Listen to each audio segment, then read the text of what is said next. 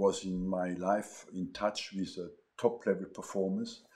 And since I stopped as well, I met many other athletes from other uh, sports, you know. And I tell them, tell me a little bit about uh, to find out where your motivation comes from. And honestly, all of them tell you only what they had lost and could have won. Hello, good evening, welcome, and thank you very much for joining us for this special Esquire Townhouse event with legendary manager Arsene Wenger. We're doing this event to coincide with the launch of your book. And just before we started, I said to you, Did you enjoy writing the book? And your answer was? No. because I was used to look forward and not backwards. And uh, I arrived at my age at uh, thinking, I turned down many times the opportunity to write a book. And I thought I had a bit time in front of me when I stopped to manage, and I thought it's now or never. And why never? And uh, it was as well, especially family circumstances. I thought I'll do it. At least people come after me we know uh, a little bit uh, what the ancestors have done before them. So you've ne- you you're not a fan of looking back. You've never looked back. No, I, I, I look back to analyze what I did right or wrong, but I don't look back at uh, a longer distance. You know, when I I make a mistake, I try always to analyze why did I make a mistake. But uh, at my global life, I don't like to look back. It is what it is. You cannot change it anymore. But do you allow yourself to look back to enjoy events that have happened in the past? Because at the moment, you're saying you only look back to be self critical. Yes. Uh, I think I carried through my life uh, with dissatisfaction of uh, everything I did. You never did enough. You're never happy enough. You never. You always want more. And uh, basically, life is about for me, it was experiencing intense moments and uh, waiting for other intense moments. And in between, you work hard to get other intense moments. But I never look back globally because I knew uh, instinctively that uh, you need to find the meaning in life. My meaning was football. I was absolutely sure of that. And uh, life had a meaning if I am in football, you know. And so I knew I was happy to lead the life I had, and I thought I look later back, you know, and at some stage it catches you because uh, uh, age catches up, and uh, you you have to do it. The, self reflection and looking back on moments to be critical seems to be what drives a lot of people who perform to a high level in sport. AP McCoy, the jockey, who's a big Arsenal fan, has said to me several times, "Well, I may have got four thousand winners, but I rode eighteen thousand horses, so I've got fourteen. So I've lost fourteen thousand times." But but what strikes me uh, the most is I was in my life in touch with uh, top level performers, and since I stopped as well, I met many other athletes from other uh, sports, you know, and I tell them, tell me a little bit about uh, to find out where your motivation comes from and honestly, all of them tell you only what they had lost and could have won. Do you has that come from your childhood? Has that come from when you were a player, or do you think you, you are born with that? That's a mystery. I, I think uh, that's all. we have the same question about talent. Is it a genetic accident?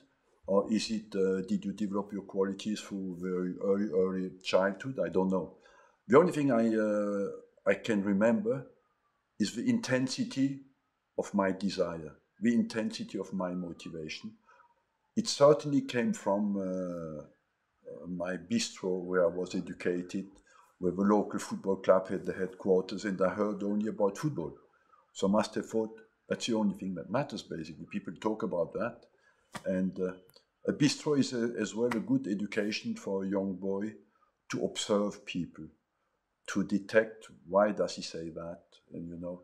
So it was a psychological good uh, education psychologically. It gave you a real understanding of people from an early age. I tried to understand when you're a boy, five, six, seven years old, you sit there and you listen to all the people uh, the whole day. Uh, you you try to understand uh, why they say that, why does he say that, and they speak about each other as well. But maybe it's a good uh, psychological education. Um, let's talk football then. Well, we might come back to, to childhood and, and France and Japan as well, where, where you coached.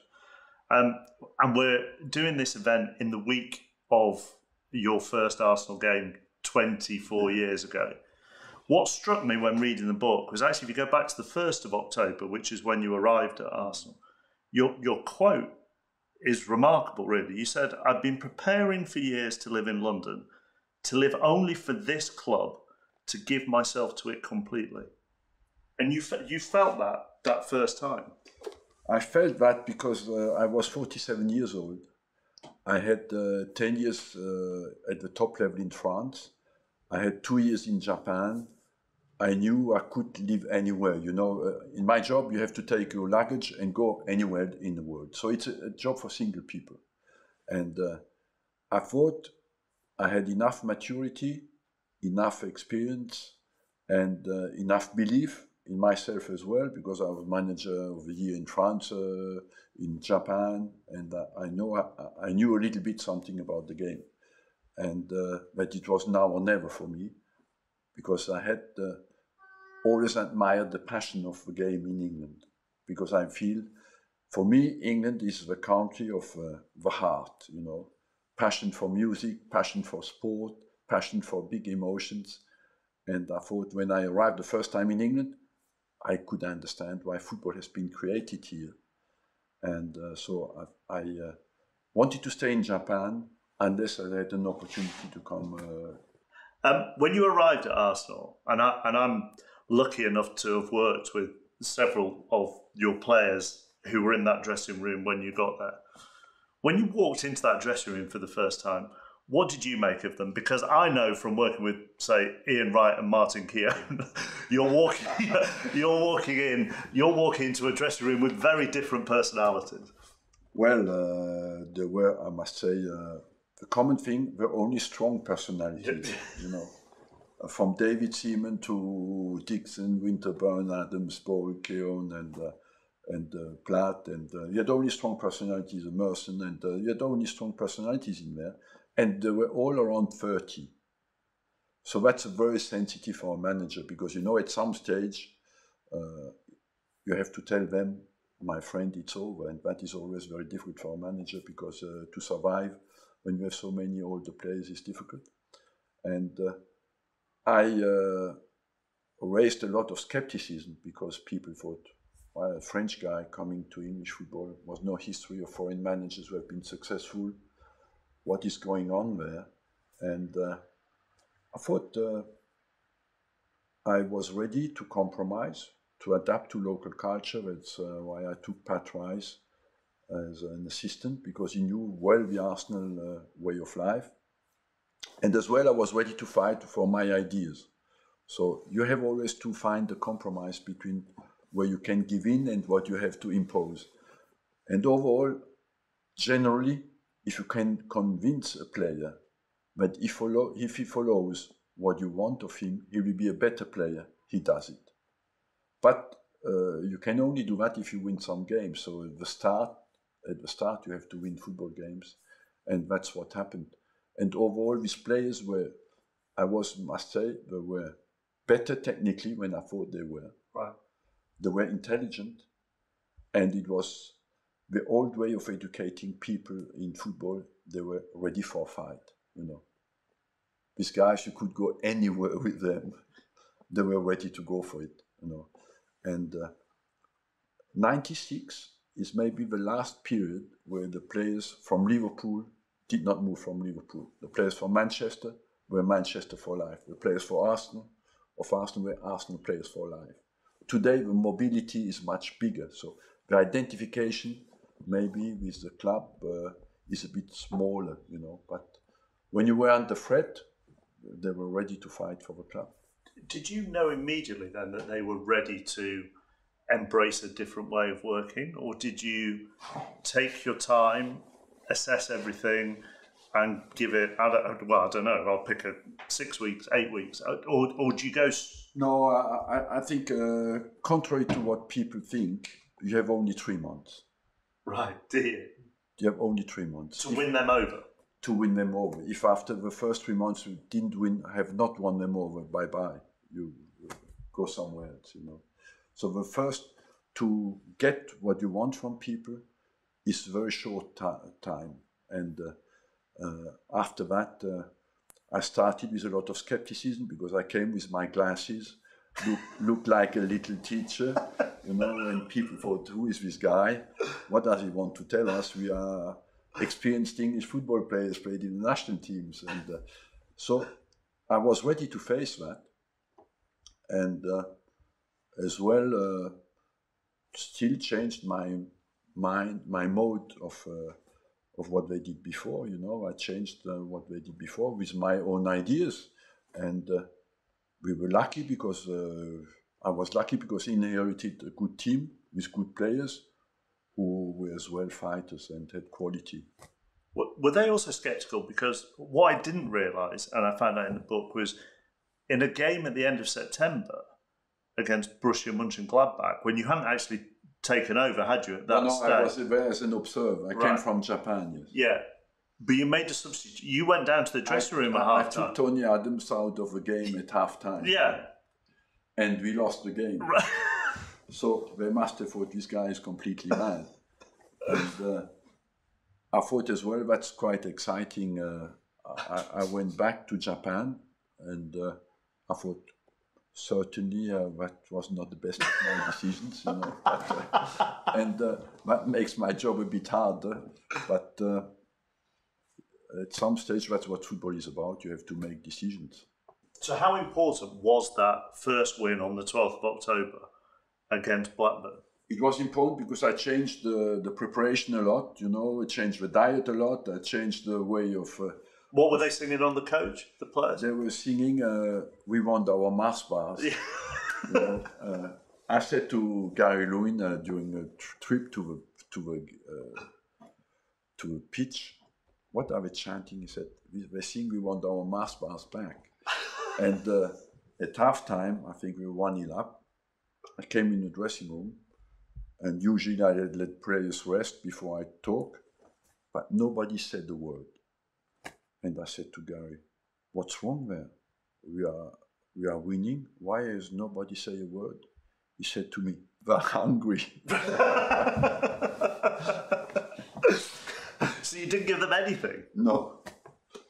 No, after they got used to it, you know, but uh, it's all uh, changed the habits of uh, preparation. And uh, after that, when the players, when you can convince somebody that he will be a better player, he's doing it, you know and that's uh, we are uh, especially the modern manager. I think a modern manager is in a persuasive mode. You know, you deal with millionaires; they want to be treated like that. You have to convince people. You have to communicate today. You have to individualize uh, the communication and the training even more. That will, I think, even go a step further. But uh, at the end of the day, if a player thinks he can be better, he will do it.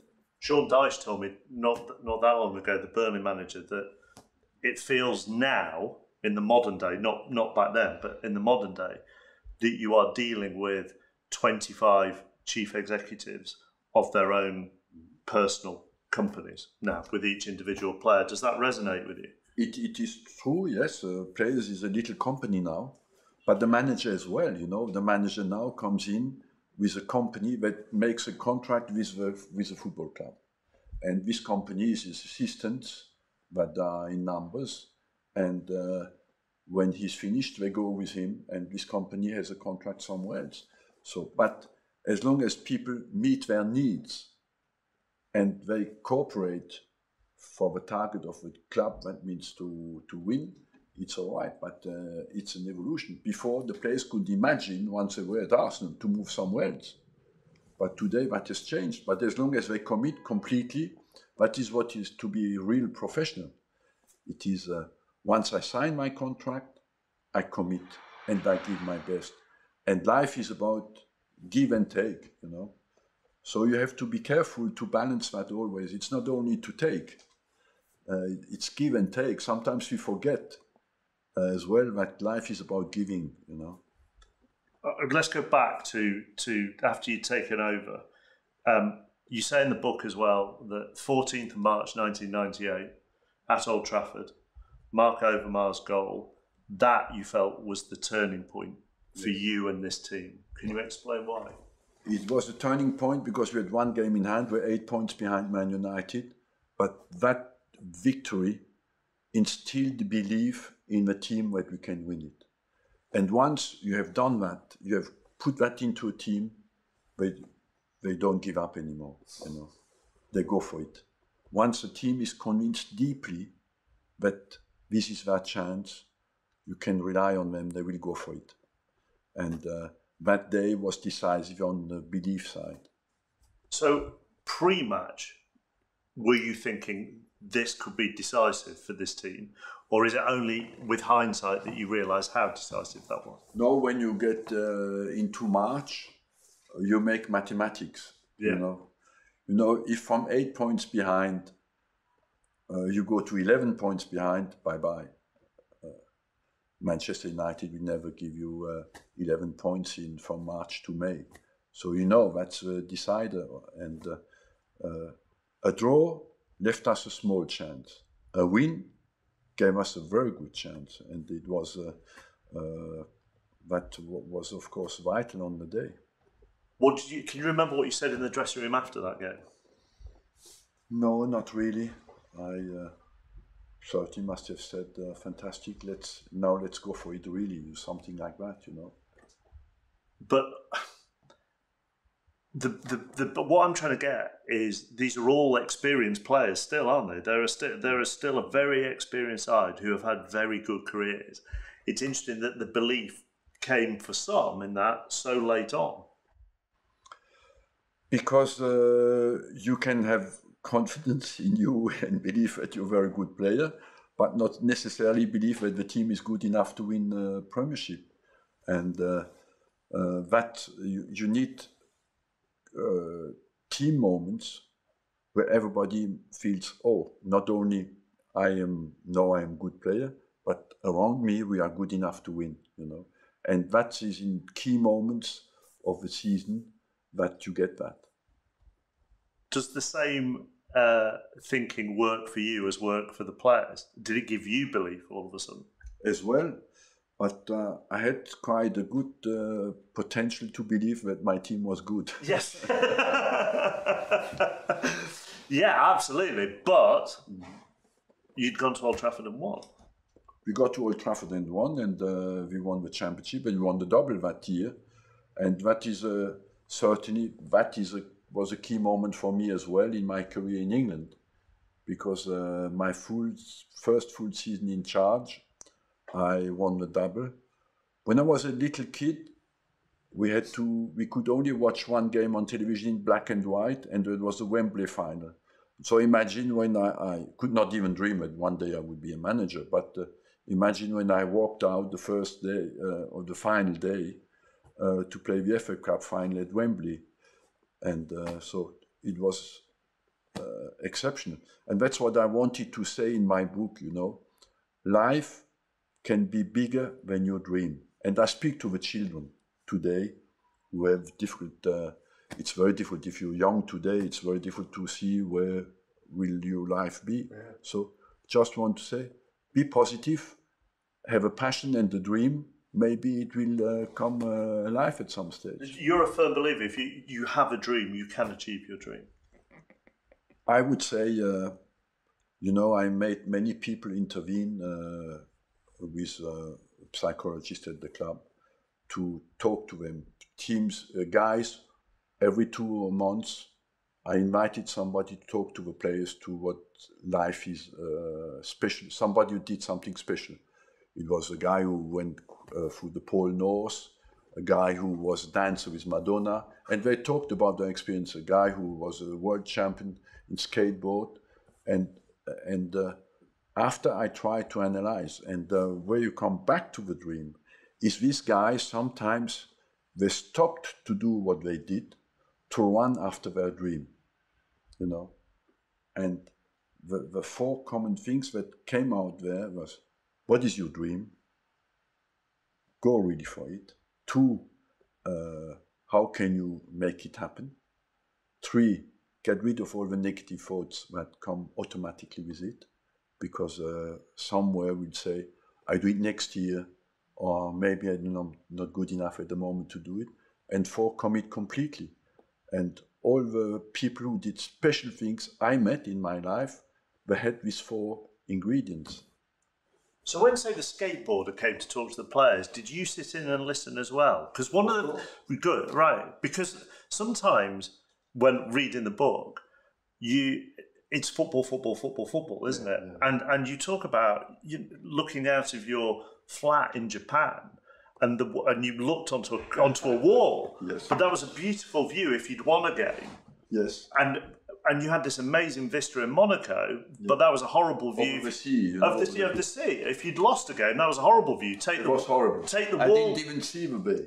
Take the wall if you win, and and and I I thought, well, did you always go home after a football match? Did you or did you go out and experience things and try and take things from a concert or a film or or meeting really interesting honestly, people? Honestly, no, and I'd be ashamed to say that, but. Uh, I, I must say I, I led a monastic life and uh, uh, completely dedicated to what I did. And now I'm a bit scared to say that because people look at me think this guy is completely uh, mad, you know. But uh, it was my passion, and uh, I have interest in life. In uh, but how my passion was to understand the world and how to to get human beings better and understand them well. So I, I think as well, you know, that uh, human beings in general arrive uh, quite early in life at a very good level, but they don't move a lot after because we like to to do what is easy and not what makes us better always, you know. And uh, that is quite an interesting conclusion because I have a long, long experience for having worked with people to try to for them to be at their best. And very few in life do absolutely everything to get to where as good as they can be. You know. And I, I believe that it happens more in individual sport than in team sport. Right. But they do absolutely everything in individual sports you have to in team sports is a bit uh, can make you a little bit comfortable. You know. Do you think if I follow on that that logic, did did you get too comfortable at Arsenal then? I don't know. I, w- I would be inclined to say no, but I'm uh, not the not uh, maybe too good a lawyer for myself, and uh, I uh, don't have that feeling. But uh, maybe maybe. You have not to rule it out you know. You have first first uh, it starts with yourself you know and uh, in life and especially in competition where it's a fight to get uh, to your best level. And uh, so i cannot rule it out. Because, because there are two ways of looking look i'm not your lawyer either but there are two ways of looking at it i suppose which is you know that that once the move to the emirates happens mm-hmm you're very much having to balance the books yes. for Arsenal, which I'm guessing is a new skill in some ways, and therefore that is a challenge for you. But at the same time, your whole ethos is winning football matches. Yes. And also, you've had adventures in different countries. Mm-hmm. Would you have been more satisfied? Would you have balanced that side of your character in Milan or Madrid or Barcelona? Well, I, I, I went in a different stage of my career because I, I thought I could win with Arsenal. And uh, you, you, you finished my first period, finished it at 2006, yeah. where you we missed the, uh, to win the Champions League final. I think we were really unlucky because we played with 10 men in the final. That's absolutely, and we're still close to win it, you know. But that was. Uh, would have crowned this period 96 2006 2007 we moved into the new stadium and it's true that my obsession I pushed as well the club to build a new stadium, and my obsession was we needed to be as many times as possible in the Champions League. We needed to restrict our finances, and we needed to sell our best players to pay the stadium back as well. So I was maybe uh, uh, happy when we achieved that. But on the other hand, if you look in Europe, there's not many clubs who stayed 19 years on the trot in the Champions League and get out of a group stage. Uh, I think we are only two or three who had that consistency. So we were remarkably consistent.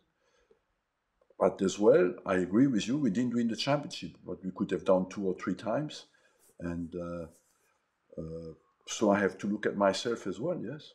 But you also describe some of those years after the Invincibles as wonderful. It is wonderful because you do your job and you're not scared to lose anymore. You just go to a game. Sometimes I, I, I thought, why am I paid so much money to do this job? You know, it is so simple. It is so easy. You just come, enjoy.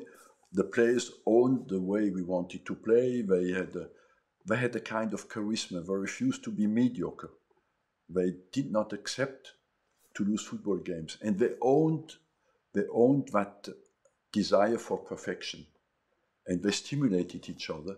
Once you get to that stage, the manager's job becomes very easy, and uh, so I must say uh, I got praised the most where I suffered the least, you yeah. know, and I uh, got criticized the most where I worked the hardest in my career at Arsenal. But that's uh, the fact that uh, when you have the right players, you can win football games, and uh, when you have less good a team, uh, you do with less. And our job basically is to take the maximum out of a potential of a team. And also, I'm guessing that those years were wonderful at times because you were goes back to what you said about talking to young people. You were developing young players and helping them reach their peak, which they then unfortunately took their talent. A lot of them then took their talents elsewhere. Yes, because our job is to win football games and uh, develop a style of play. It is as well to influence people's life. And on the third level, it is uh, to develop the structure and the brand of a club on uh, worldwide, you know. And uh, overall, I believe uh, when I put all together, I did all the three even being uh, critical, I think quite well.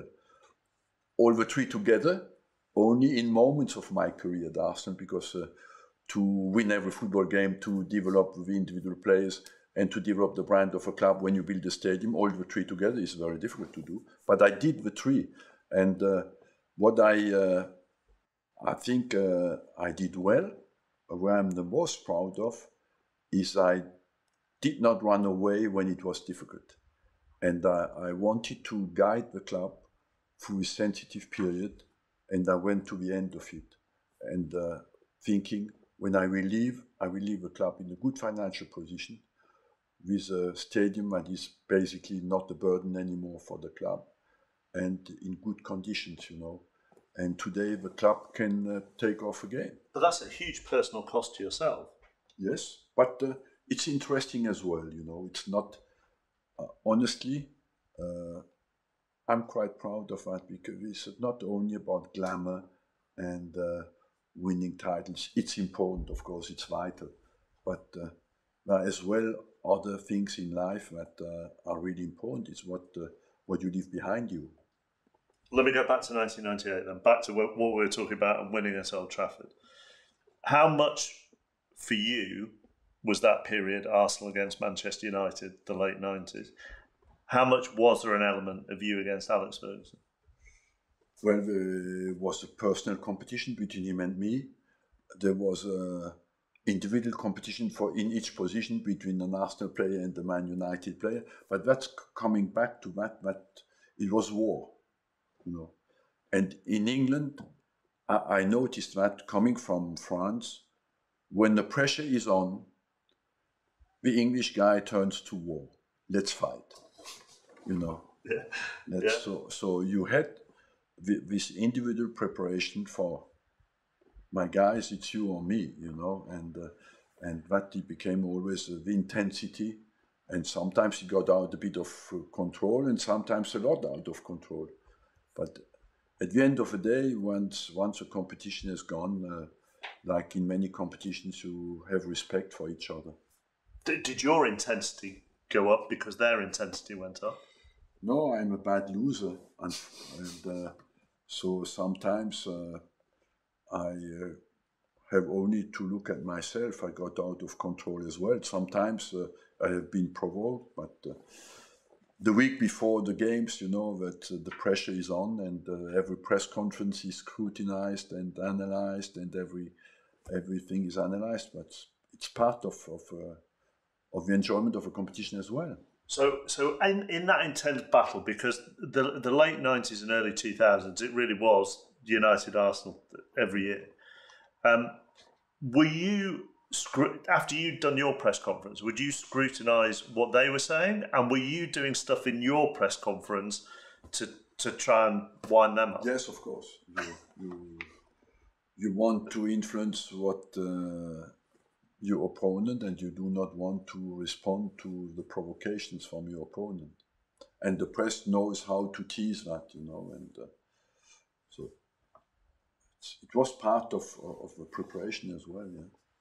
Um, the irony, actually, of doing this is I read Ferguson's leading book before I read your book. I, I, just happened to be reading that, and then I, I was doing this interview, and so I read yours. Um, I think the two of you are quite similar. Would you agree? Yes, I wouldn't disagree. And uh, I think as well we are the witness of our period, you know, of a, of a society, and uh, you you uh, we are a little bit the product of the evolution of the game. That means we were powerful inside our clubs. We had uh, at the time we were made at the time where the influence was only one directional on the player. Uh, the evolution has gone more multi-directional. Today, uh, the manager is not only the, the, the, only person who has an influence on the players. Sometimes the players have their own physio, their own dietitian, their own uh, doctor, yeah. and uh, their, their agents, two or three agents around them. So they have their own social networks.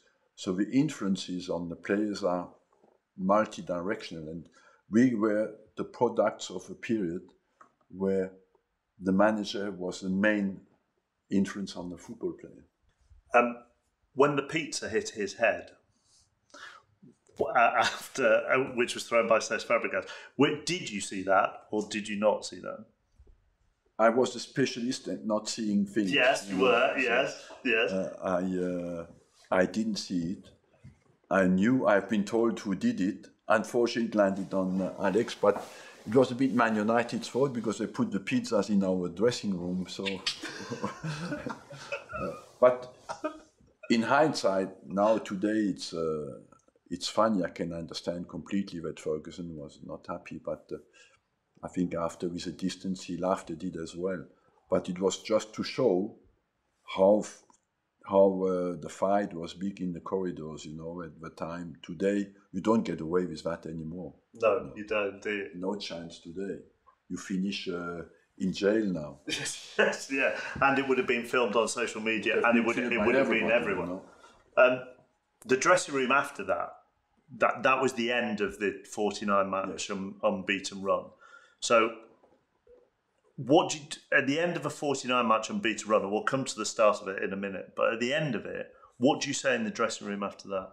Because because that had a massive effect, that defeat, didn't it? That end of the run, you, you think, had a big effect on the. It was a huge effect because uh, suddenly you're down on earth yeah. again, and uh, you were up at the top of the Everest, and you say to the players, now let's get up again. They tell you, come on, leave us a little bit alone now and uh, it, we had we took us time to recover, and uh, I think uh, uh we won uh, the first game again at QPR one 0 and we didn't deserve to win it because it took us four or five games to recover from it. Do you find it odd that a team that had gone forty nine matches? I found it very odd, but uh, it's strange because when you are hit like that, uh, suddenly uh, the connections go, the fluency of the game goes, and everything becomes difficult. Go back to the start of the Invincibles and the, and the start of, of the run. And you told the players they could go unbeaten for the season. But you'd done that the previous season as well. So why did you repeat it? That what was the thinking there? Because uh, I personally thought uh, to do the immaculate season, uh, I have done a good job, and the players as well.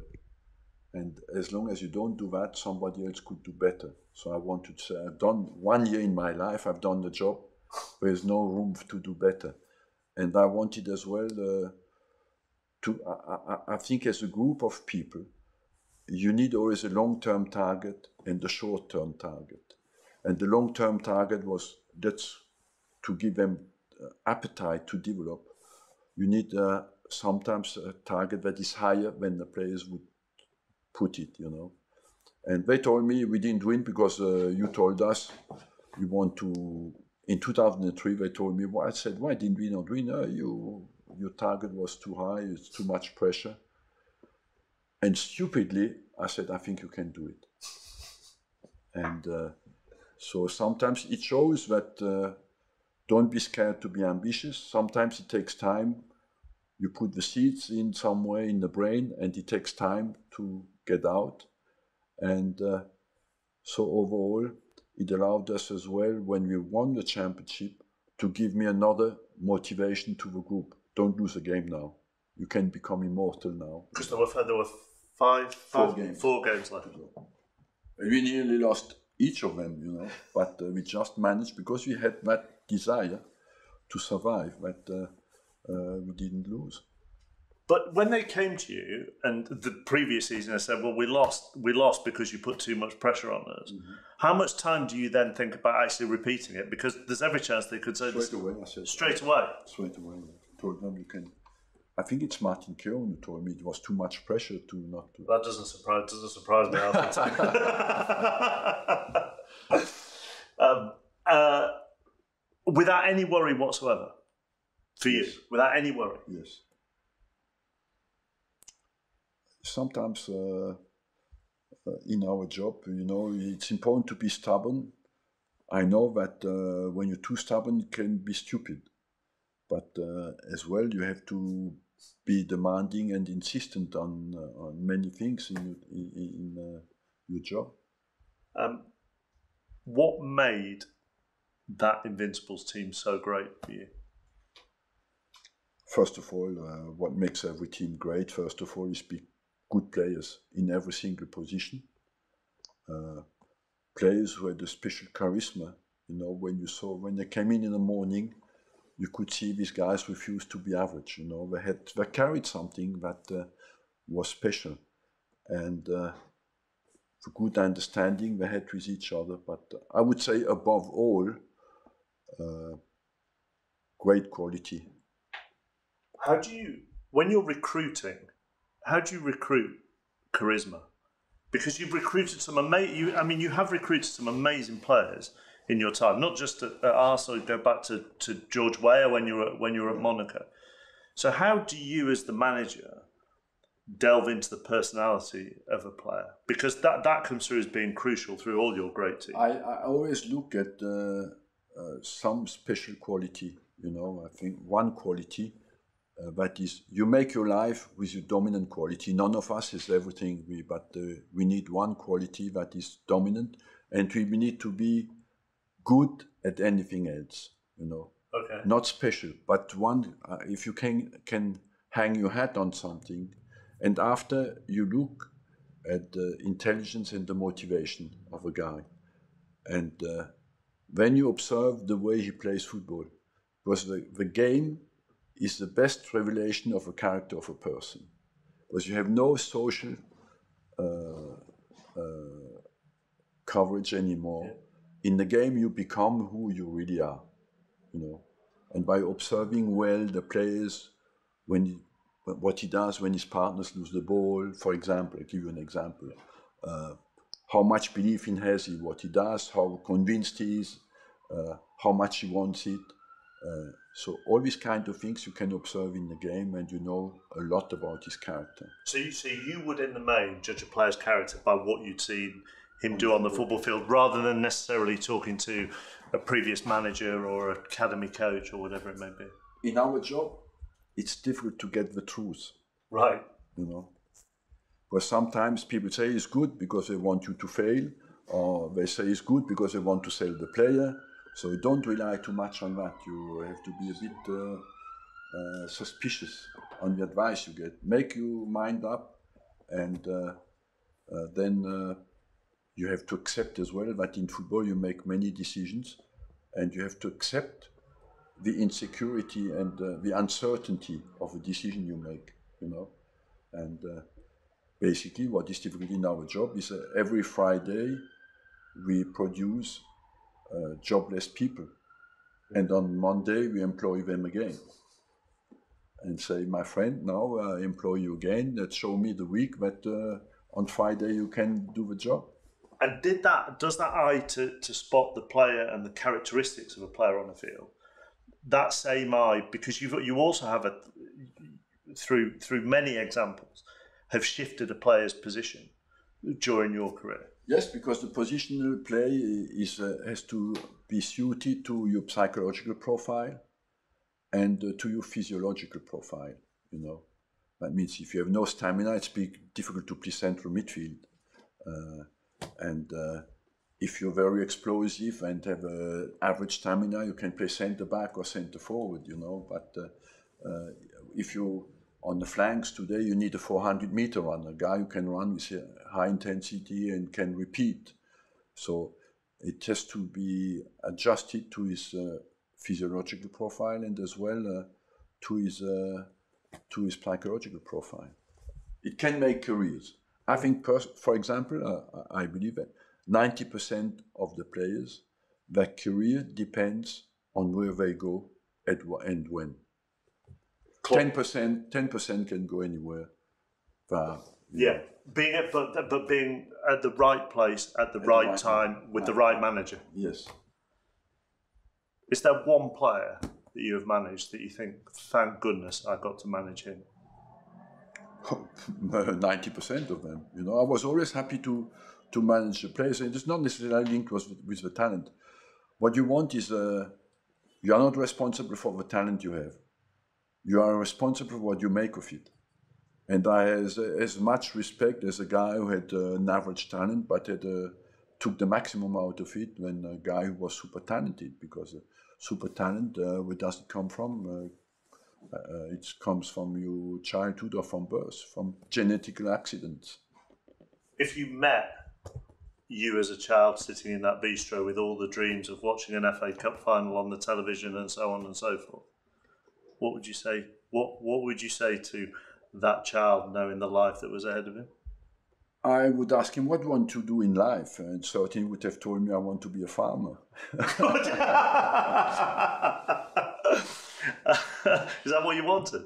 I couldn't imagine to spend my life in the game. You know, football was not a serious job. Football was uh, something that you enjoyed on Saturday. Uh, job is to work hard uh, physically and uh, go and uh, and uh, go in the fields, and I was happy there.